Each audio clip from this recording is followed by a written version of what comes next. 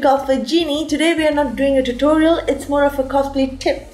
I'm going to show you how to make artificial gems for your costumes. For example, over here you can see Melina has this gem and there are multiple costumes. For example, I had this gem for my Crystal Maiden that goes on her face. You guys can go ahead and go for ready-made gems that you can find on the store, but sometimes it can be hard to find the color or shape gem that you need. As you can see, there's a difference between the two of them. This one's a little more sparkly while this one is more glassy. I'm going to show you how to make your own gems. The easiest and most common way of doing so is resin casting. So you take your clear resin like this and then you can paint the base with nothing but as simple as nail paints. This gives a shine and gloss. Now I took a plastic spoon over here and I painted parts of it. There are two kinds of nail polishes, shimmer and chrome sparkles. As you can see I'm using it on my nails as well. So this, what it does is it gives your gem that shine and the color. You guys can go ahead and mix match.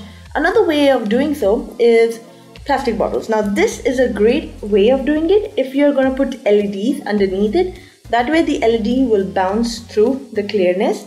But if you don't plan on doing an LED, then you can take a plastic ball, cut it out in your shape you want, and then just paint it with the base of what you want and add the shimmer using a nail paint. I'm just gonna do a little bit of it here as you can see. You can see the difference between the part where I put the shimmer and the other part. So this is one way of doing so. I did my Crystal Maiden head pendant in the same manner. Another way is using transparent Worbla.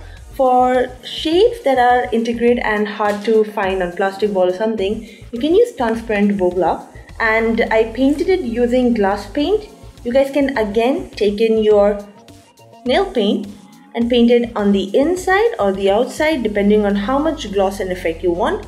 Now as you can see on the inside you can see if you want this sort of effect you paint it on the outside but if you want to have an LED sparkling through it, if I put an LED in it right here, it will gloss the light out of it. I'm just going to show it to you right now. Now, think of this torch as your LED and that's how it will bounce off. Obviously, the torch is not as strong as an LED, but you guys can get the idea. Same thing goes for your resin. Once you put the LED in, it will bounce off. So that was the simplest way of doing it. I'm just gonna show you the plastic spoon that I did earlier and show you how that bounces off. There you go. It looks like this on when I paint it on the inside. This is how it will look if I paint it on the outside. And that's it. And that's simply that's it.